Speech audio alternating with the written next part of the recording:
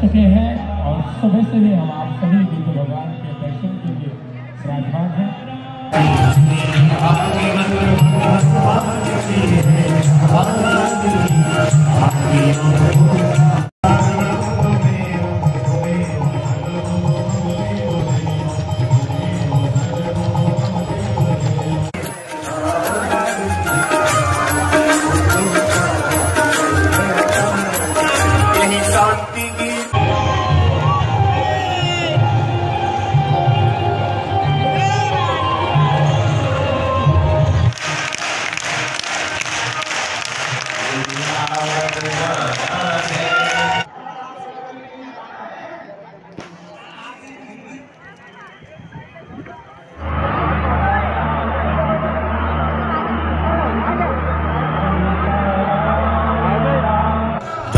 हनुमंत संत हितकारी सुन ली जय प्रभु अर्ज़ हमारी। जन के काज विलंब न की जय। राम।